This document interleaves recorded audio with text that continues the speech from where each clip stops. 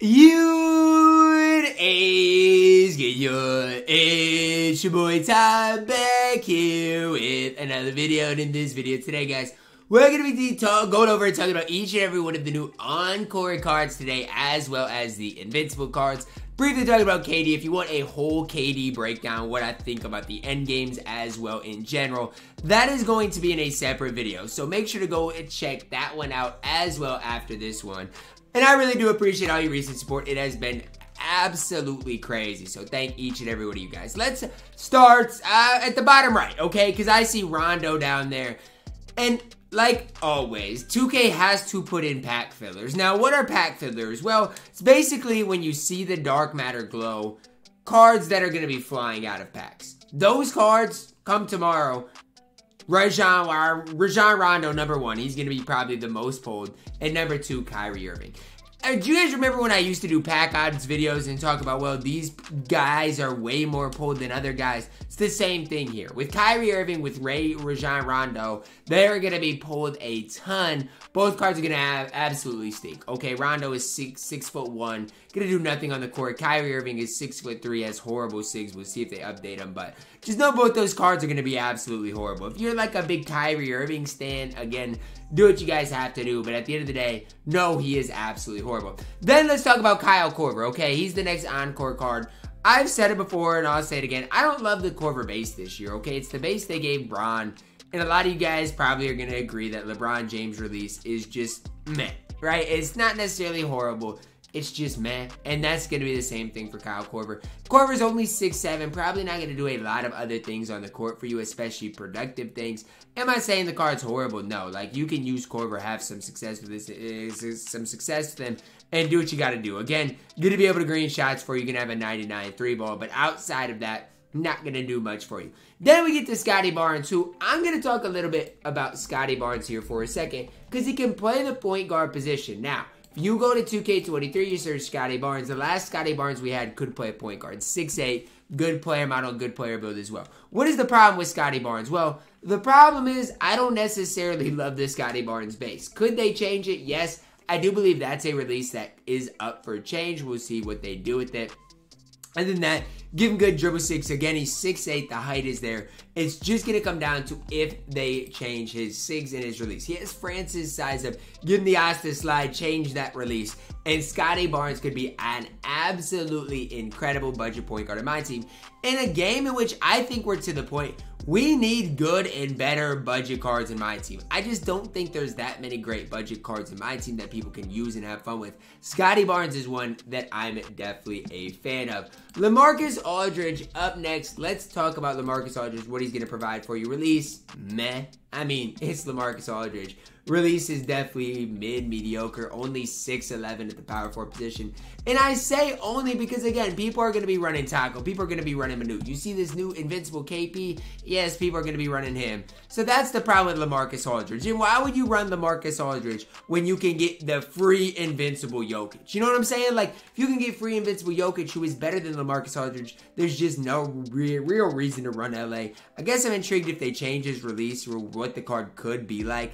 But again, at only 6'11, the, the, the, the ceiling is pretty low, right? For how good he can be, right? I, I, I, it's not a card you can even say the floor is high with because I don't think he's going to be very good.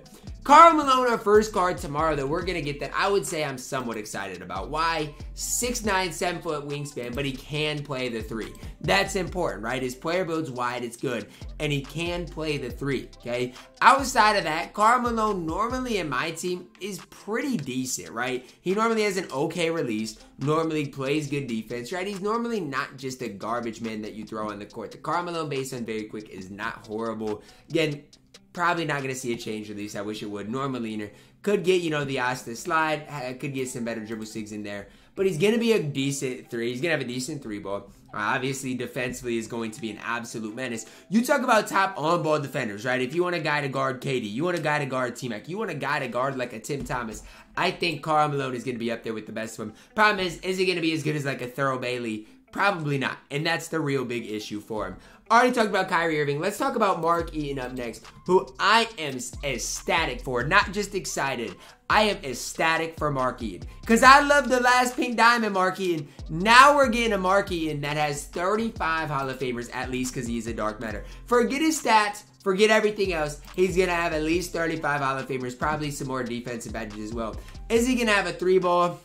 I don't know. I'm guessing so because a Galaxy Opal Rudy Gobert the other day got a three ball. So why would they not give Mark Eaton a three ball? They give Mark Eaton a three ball. Again, I don't know about his release. I don't think it's great, but they give him a three ball. This card is going to be it in my team. I don't care. 7 4, 7 7 wingspan. They're going to give him a three ball. You want a budget big in my team. Mark A Mark Eaton might be my no go to, right? Think about like a Ralph Sampson type card. That's basically what Mark Eaton's gonna be. You want to talk about a card we got last week that I think is gonna be very comparable to Mark Eaton. That is Ralph Sampson, a card that can basically do it all on the court with those 35 Hall of Fame badges.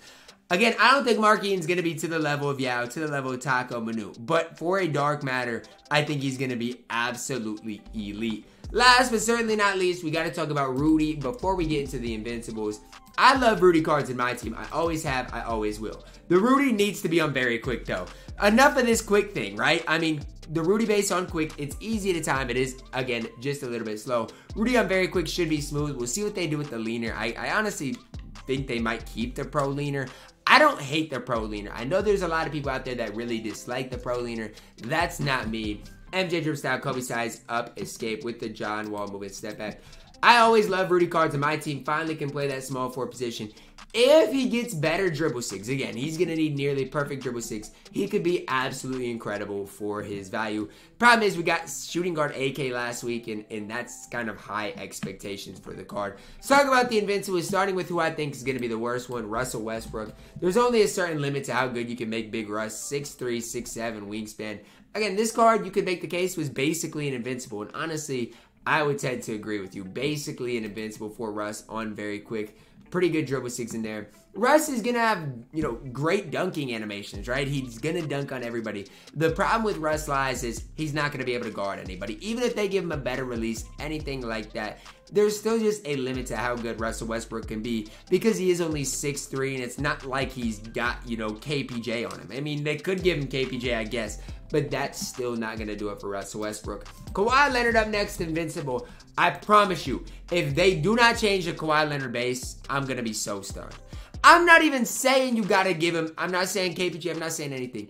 Give him the Nesmith base. I don't care. Uh, give him a base that's just a little better than it is. You can give Joakim Noah a good base, the Kawhi base of old, but you can't put it on Kawhi, right? Give him the Christian Wood base. I, we're not asking for him to have KPJ. We're asking for Kawhi to get his old release back.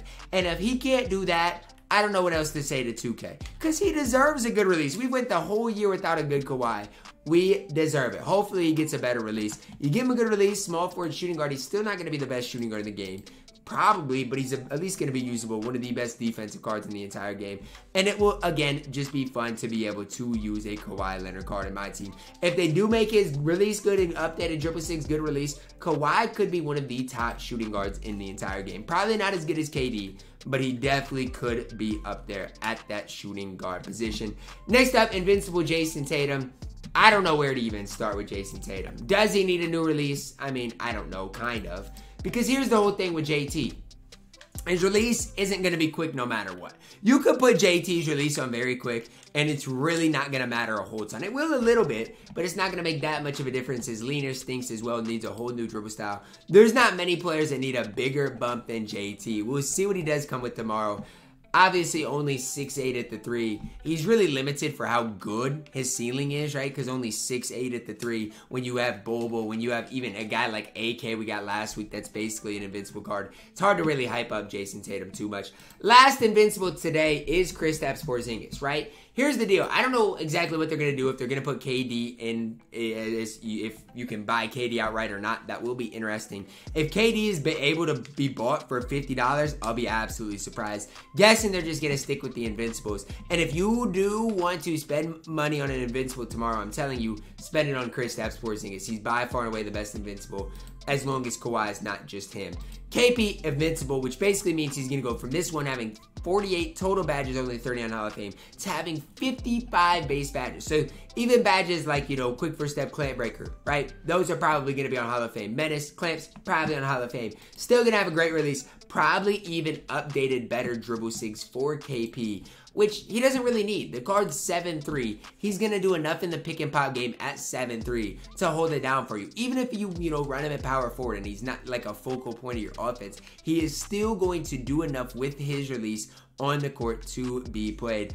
I love KP. And again, if you don't have Manute, if you don't have yeah, if you don't have all those guys and you just want to hoop with KP, he's going to be able to compete with those guys at 7-3 at an invincible. Better than Shaq, better than a guy even like Kareem. You're using Kareem. I expect KP to be just a better version of what Kareem is in general.